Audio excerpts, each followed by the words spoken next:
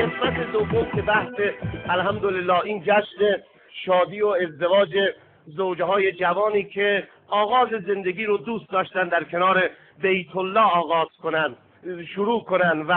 آمدن به حرم شریف نبوی اونجا پیامبر عظیم الشان رو زیارت کردن به بقی رفتن ائمه مظلوم مدفون در بقی رو زیارت کردن و مظلومیت اهل بیت رو در شهر خود یعنی مدینه دیدن و حالا اومدن در کنار بیت الله قرار گرفتن و